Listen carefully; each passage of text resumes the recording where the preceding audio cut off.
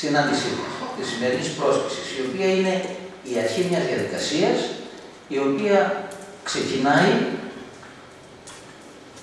θεωρώ ότι αυτή η διαδικασία ε, θα πρέπει να μας προβληματίσει όλους, όπως λέτε στη συνέχεια, για τον τρόπο με τον οποίο θα συνεχιστεί. Και να συμφωνήσουμε όλοι ότι η τελική κατάληξη αυτής της διαδικασίας είναι να επαναλειτουργήσουν τα δημοτικά σφαγεία αιτίας με τη μορφή την οποία θα αποφασίσουμε όλοι και με μια μορφή η οποία θα δίνει τη δυνατότητα τα σφαγεία αυτά να λειτουργήσουν σωστά με βάση την Ευρωπαϊκή Νομοθεσία και με βάση τις απαιτήσεις της περιοχής.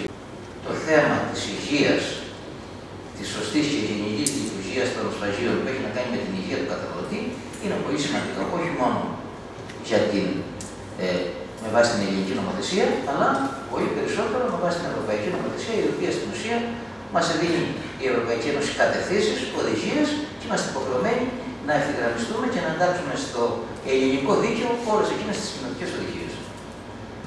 Είχαμε λοιπόν ένα χώρο ο οποίος κουτσά στραβά λειτουργούσε. Σε αυτό το χώρο θα έπρεπε κανονικά να γίνονται συνεχώς επενδύσεις, να γίνεται ένας εξυγχρονισμός σιγά σιγά των χώρων και των, του τρόπου λειτουργίας των σφαγείων για να μην φτάσουμε στην κατάσταση που φτάσαμε. Πριν δύο χρόνια, τρία, αν θυμάμαι καλά, αναγκάστηκε ο Μάξης να το κλείσει το σφαγείο διότι ο εισαγγελέας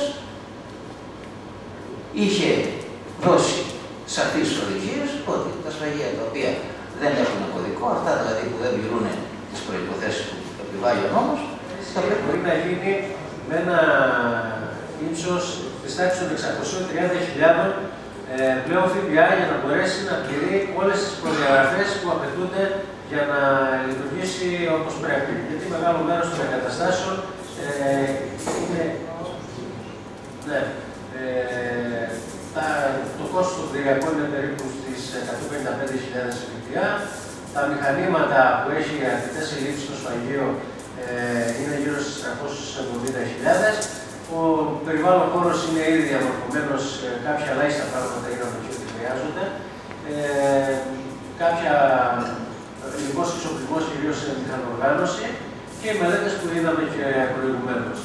Ε, όλα αυτά βέβαια δεν μπαίνουμε πολύ αναλυτικά. Υπάρχουν στη μελέτη μέσα η ανάλυση. Είναι στο Δήμο όποιος θέλει να τα, να τα δει, έτσι να μην ε, τρώμε τον χρόνο εδώ πέρα. Όποιος θέλει, μπορούμε, είμαστε στη διάθεσή να τα δούμε και πιο αναλυτικά. Τώρα, ε, κάναμε μία πρόβλεψη 1950, λαμβάνοντας υπόψη την περιοχή της Ιτρία και ε, επίσης το γεγονός ότι στο, σε όλο τον μοναστηρίο δεν υπάρχει άλλο σφαγείο που να λειτουργεί.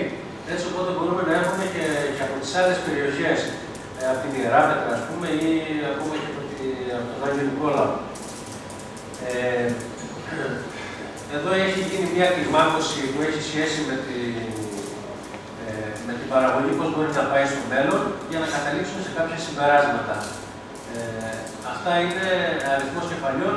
Το πρώτο χρόνο, ας πούμε, ενδεικτικά να σας πούμε ότι αμνοερίφε 31.500 και από πρόβατα 5,5. Το δικό κόστος θα καλυφθεί στο 100% χωρίς να υπάρξει δανεισμός και τα δημοτικά σφαγεία θα έχουν αυτά τα, ε, αυτά τα αποτελέσματα από το πρώτο έτος μέχρι το δέκατο. Φαίνεται δηλαδή ότι θα είναι, ε, δεν είναι μια, ε, θα, θα έχουν κέρδος στη λειτουργία τους ε, που θα κυμαίνεται περίπου από 2.500 ευρώ μέχρι ε, κοντά στις 40.000 ε, στο δέκατο έτος. Έτσι, σταθερές τιμές πάλι του 2011.